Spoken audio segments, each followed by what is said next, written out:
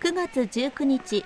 目黒区にある宮前公園定休場で小学生を対象にしたプロの選手によるテニス体験教室が開かれました。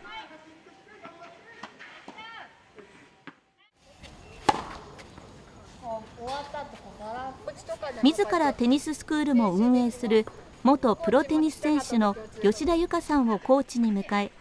基礎からプラスアルファの技術までを楽しく学びテニスを始めるきっかけにしてほしいと開かれたものです。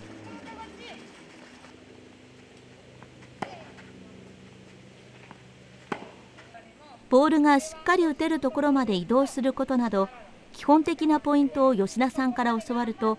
子どもたちもラケットを握り早速ボールを打っていきます。参加者はテニス初心者を含む17人の児童技術指導よりもテニスの楽しさを伝えることを重視し少しでも多くボールに触れる内容になっています。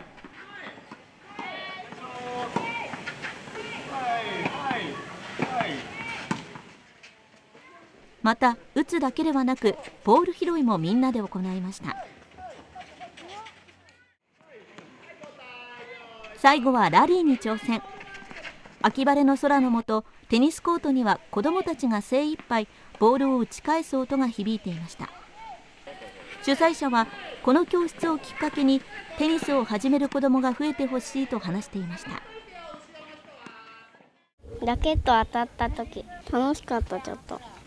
ラリー楽しかった。コーチとかからボールとても打ちやすくてやりやすかったです。調子は良かった。